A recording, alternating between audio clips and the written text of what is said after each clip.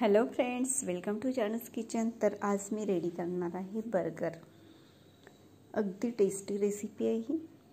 तर आलू मी बॉईल करून घेतले आहे करून स्मॅश केले आहे. ऑइल गरम झालं आहे त्यामध्ये एक चम्मच जिरं टाकलं आहे आणि अद्रक आणि बारीक कट केलेलं, मिरची पावडर हळदी आणि चवीनुसार नमक.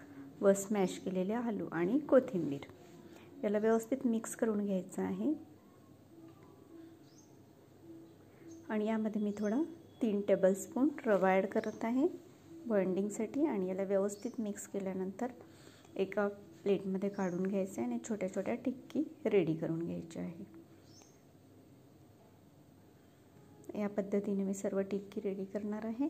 आता याला थोडं रव्यामध्ये कोट करून आपल्याला तव्यावरती बटर लावून फ्राय करून घ्यायचं आहे.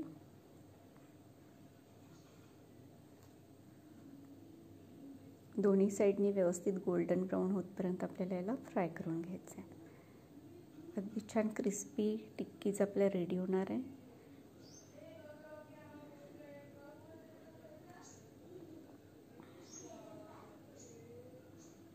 तर बघा आपल्या टिक्की रेडी झालेले आहे पाव किंवा बर्गरचा पाव स्पेशल मिळतो. त्यामध्ये तुम्ही याला ठेवून व्यवस्थित तुम्ही बर्गर खाऊ शकता. तर मी पावलामधून कट केला आहे. त्यामध्ये एक गोबीपत्ता एक टिक्की आणि थोडासा कोथिंबीर. तुम्हाला वाटल्यास आणखी टोमॅटो वगैरे पण यामध्ये तुम्ही ॲड करू शकता आणि सॉससोबत याला खाऊ शकता. तर तुम्ही ही रेसिपी नक्की करून बघा आणि जर आवडलं तर चॅनलला सबस्क्राईब शेअर आणि लाईक करा आणि बेल आयकनवरही क्लिक करा. म्हणजे माझे सर्व व्हिडिओज तुमच्यापर्यंत पोहोचतील. Thanks for watching my video